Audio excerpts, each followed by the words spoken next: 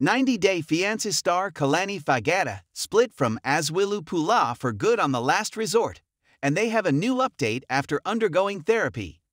Kalani Faagata and Asuelu Pulaa shared a big update about their relationship after deciding to get divorced on 90 Day, the last resort. Kalani and Asuelu got married in 90 Day Fiancé Season 6. They met at a resort during Kalani's Samoa vacation after which Kalani became pregnant and Asuelu came to America on a K-1 visa. Kalani welcomed another child after their wedding, and while they had an unhappy marriage for several years, she never revealed the real reason why.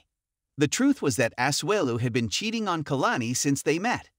In 2022, Asuelu gave Kalani the option to get a hall pass. Kalani chose to date Dallas Nuez and ended her marriage with Asuelu on the resort-themed show and in January 2024, she is revealing where their relationship stands now. Kalani posted a photo of Asuelu with their older son Oliver clinking their glasses at a restaurant.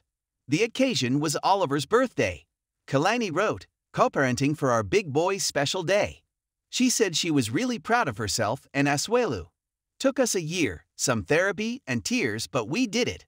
Kalani wrote. She added the song Celebration by Kool and the Gang in the background. Meanwhile, both Asuelu and Dallas shared sweet birthday messages for little Oliver. Asuelu spent time with his two sons Oliver and Kennedy at Laguna Beach, California to celebrate the big day.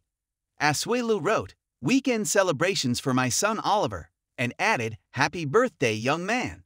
He continued, Hashtag bless bless bless. 90 Day Fiancé viewers in the comments section joined Asuelu in wishing Oliver a happy birthday. Fans also were amazed at how fast the two boys were growing up. Someone told Asuelu that they loved seeing him having dad time with the kids. Dallas refrains from posting anything on his Instagram feed. He wants to hide his identity, including his face, which he often covers with stickers before posting any pictures in his Instagram stories. He did share a story in which he wished Oliver a happy birthday. Dallas told Oliver that he and his brother were such a blessing for him. Love you. Thank you for telling me you love me more than at Kalani Faagata, he wrote. His words not mine, he added jokingly.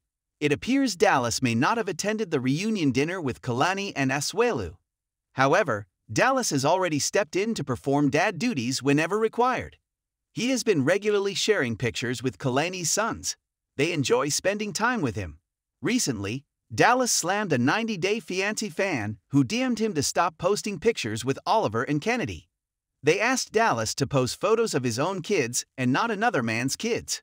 Kalani and Dallas started dating in November 2022 and only made their relationship Instagram official a year later, once 90 Day, the last resort ended. Dallas and Kalani's relationship is still going strong.